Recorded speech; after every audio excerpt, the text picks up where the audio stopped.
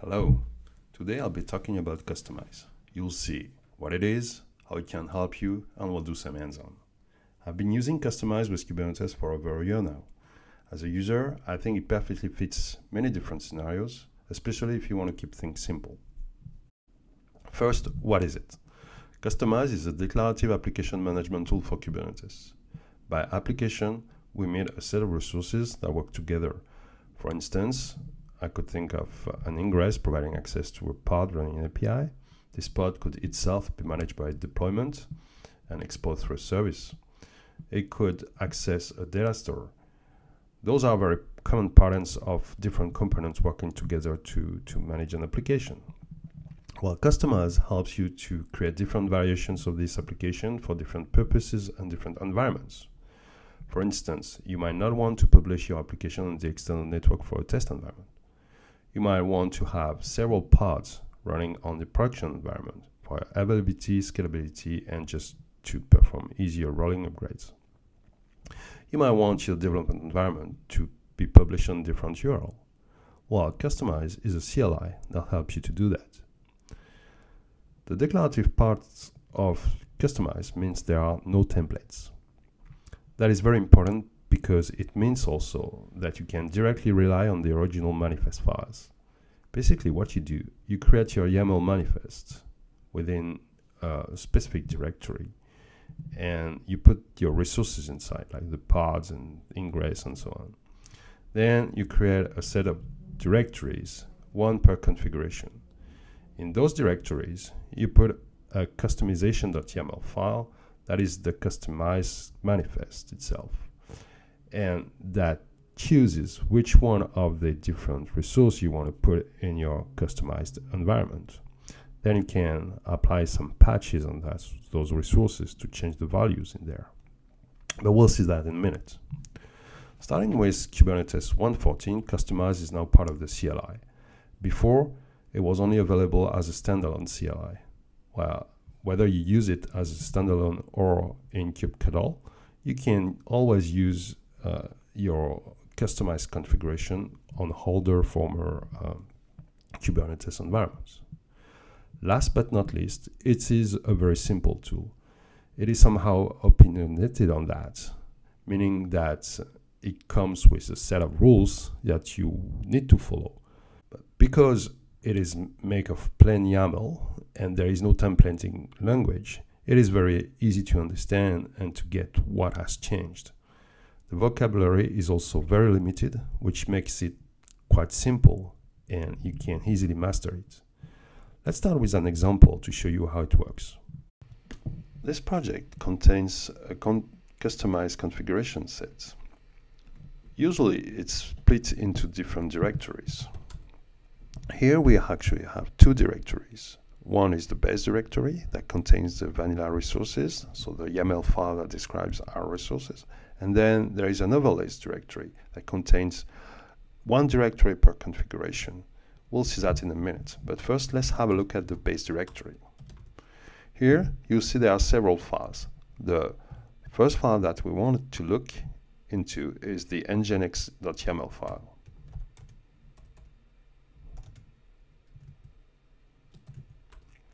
As you can see, it is default vanilla deployment configuration set.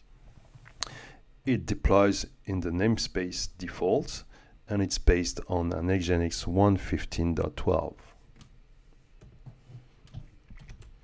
Then there is the nginx-config.yaml file.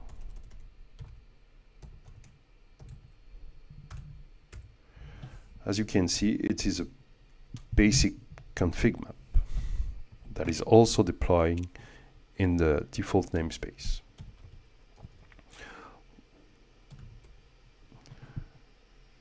In this case, there is an additional file called the kustomization.yaml file. I won't talk about the rbac.yaml file yet because it's not used, as you can see from that file.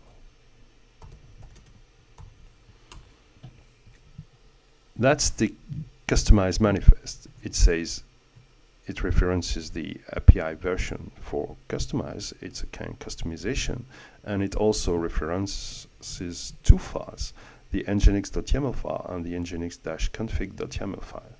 To apply that file, so the whole configuration, you'll just have to run kubectl apply dash k for Kustomize dot and it will create the resources that are referenced by this file.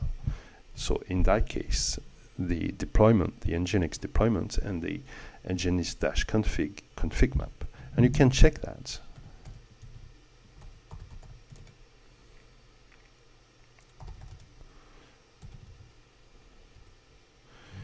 You've just seen that we've started a pod that is the Nginx pod. And if we have a look at it,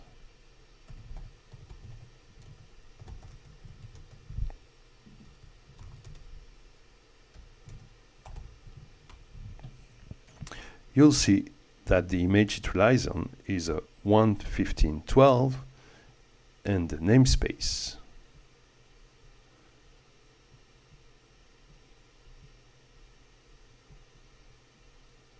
is obviously the default namespace.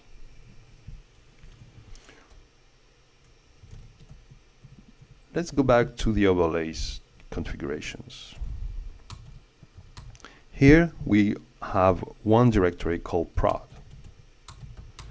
In this directory, there is only one file called kustomization.yaml, which is the manifest for Kustomize. If you look at that file, you'll see that it references the other sets of resources, so the vanilla resources. By this directive, it also says that the namespace it should deploy into is the prod namespace. And it says that the image for the Nginx server should be 115.10. To apply this directory configuration, I just run kubectl apply dash k. And you see it fails because the namespace doesn't exist yet. So I will create the namespace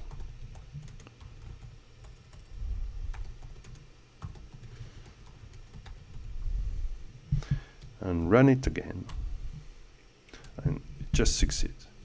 If I look at it,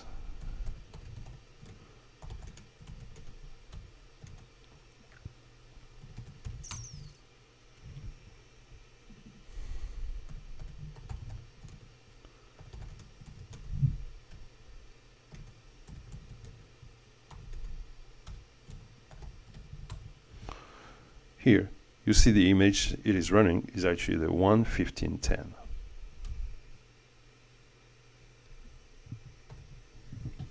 Kustomize offers more directive to change your configuration in addition to namespace and images. This slide lists most of them.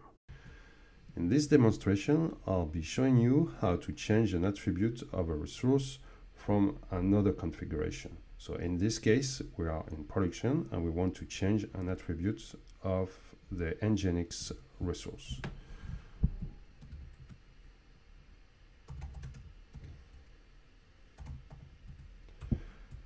Kustomize provides you with a tool called uh, a patch and it has three different keywords saying that you can replace or add or delete a pass for a resource with a value. And so what you have to do is just create these files and uh, list the change that you want on the on the target resource. Then you will have to change also the Kustomize manifest. So you change the manifest by adding a patches JSON 6902 keyword saying that the target that the patch has to be applied to. So in this case, we will apply the patch to the deployment called Nginx. Then you can simply apply the configuration again by a kubectl apply dash k dot. Okay, and you see here nothing has changed. That's because the replica set that is running the pod under the deployment is already set to 1. So we will change it.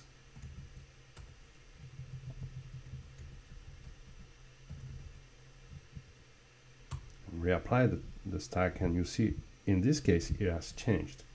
We can see here directly from kubectl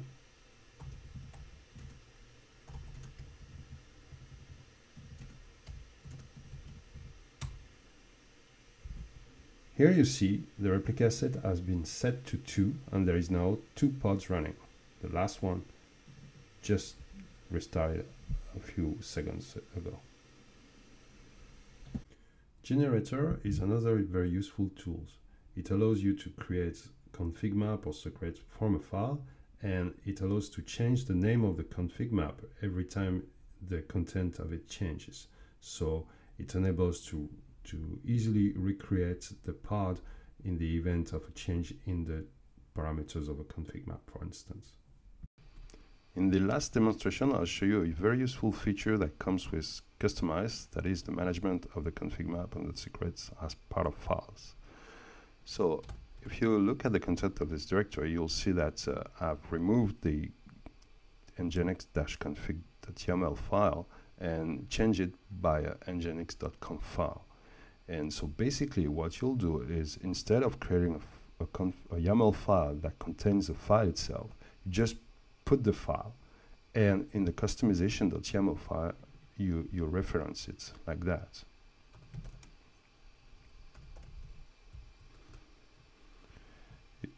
You use the config map generator directive with the name of the config map you want to get at the end and the files or the list of files you want to have for each one of the keys of the config map.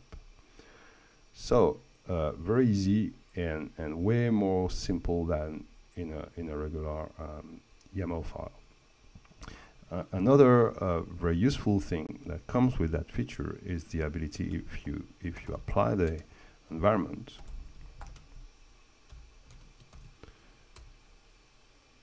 so the ability to change the name of the config map on the fly so that means that instead of being called nginx as it is here, it will be called nginx dash and a hash number that depends on the content of the file.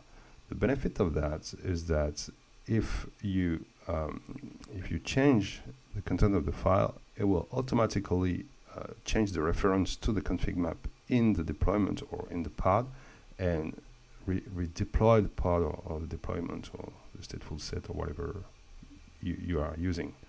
So we'll, we'll be doing that.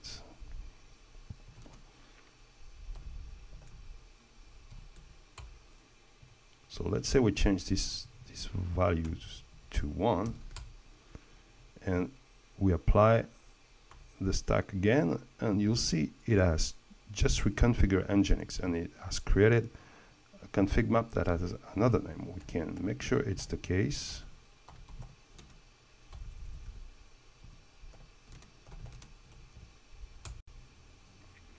you see it has just restarted the the pod. And another very nice thing about that is that if you look at the config map you'll get the history of the config map. So basically it's a very good practice to to not erase the config map not replace it but just to to create a new one and Kustomize does that automatically for you and that's it for a quick introduction to Kustomize. To summarize, Kustomize is simple. It's simple because it doesn't require any templating language. It's just plain regular YAML file like you would do for any resource. It allows you to store multiple configuration in a single directory, so as a single repository. It's included with kubectl 1.14, so you don't have to, to install anything, just use the dash k uh, com command flag. It's fun to use, fun to try, uh, very powerful. So if you want to give it a try, just go ahead. If you want to mo know more, uh, there are the website that is kustomize.io, and you can also uh, go to the GitHub repository that is kubernetes-sigs slash kustomize. Have fun.